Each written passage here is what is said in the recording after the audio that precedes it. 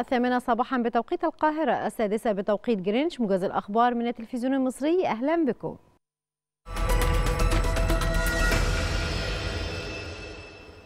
أكد الرئيس عبد الفتاح السيسي دعم مصر الثابت لأمن واستقرار العراق والاعتزاز بالعلاقات الاستراتيجية بين البلدين مشيرا إلى الثوابت الراسخة للسياسة المصرية فيما يتعلق بمساندة العراق وتقديم الدعم الكامل للشعب العراقي على مختلف الأصعدة لا سيما ما يتعلق بمكافحة الإرهاب وترسيخ الأمن والاستقرار.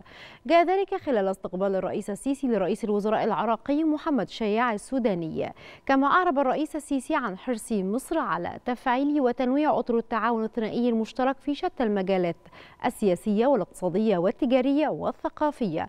وأيضا الإسراع في تنفيذ المشروعات المشتركة بين البلدين وفقا لاحتياجات الشعب العراقي. وبما يعزز التكامل بين الجانبين ويحقق الأهداف التنموية المشتركة. بالإضافة إلى مواصلة العمل في إطار آلية التعاون الثلاثي مع الأردن. كما أكد الرئيس عبد الفتاح السيسي اعتزاز مصر بعلاقاتها القوية والمتميزة مع دولة الإمارات الشقيقة والحرص على مواصلة التعاون المثمر والبناء في مختلف المجالات بما يحقق مصالح الشعبين الشقيقين. جاء ذلك خلال استقبال الرئيس السيسي الرئيس التنفيذي لمجموعة مواني أبو ظبي محمد الشمسي وبحضور رئيس مجلس الوزراء مصطفى مدبولي.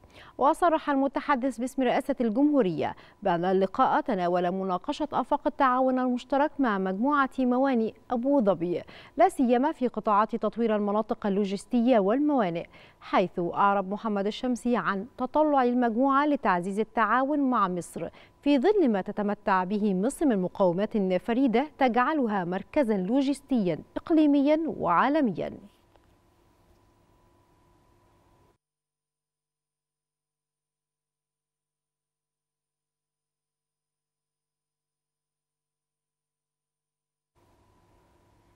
وصف الرئيس الأوكراني فلاديمير زيلينسكي المعارك الدائرة بمدينة بخموت شرق أوكرانيا بالمؤلمة والصعبة.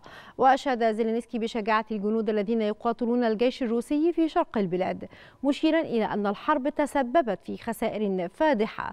وكانت هيئة الأركان العامة الأوكرانية قالت إن القرى الواقعة شمال وغرب بخموت تعرضت لهجوم عنيف مشيرة إلى أن القوات الروسية تحاول محاصرة القوات الأوكرانية في بخموت.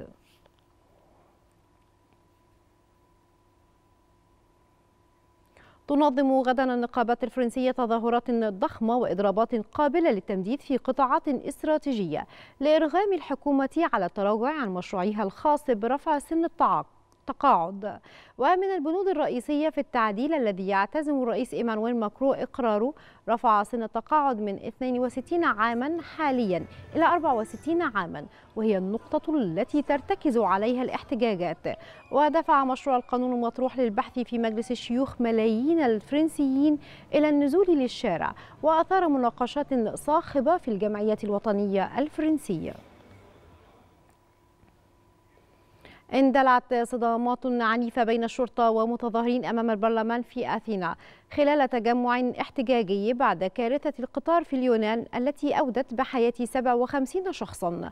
وألقى متظاهرون زجاجات مولوتوف فيما ردت الشرطة بإلقاء قنابل غاز مسيل الدموع وقنابل صوتية في وسط العاصمة اليونانية.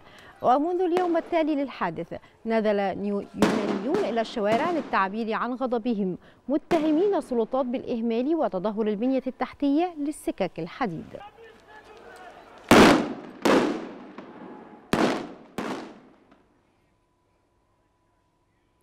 تكشف الحكومة البريطانية الثلاثاء النقاب عن قانون جديد للحد من المهاجرين الذين يصلون إليها من أوروبا عبر القناة الإنجليزي.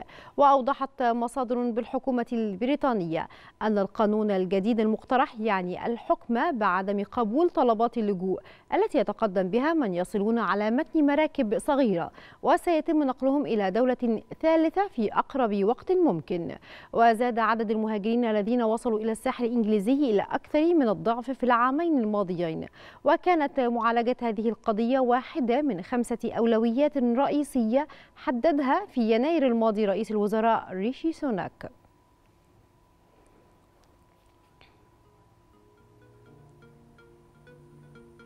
ختام موجز الثامنة فاصل ونعود لحضراتكم لاستكمال باقي فقرات صباح الخير يا مصر.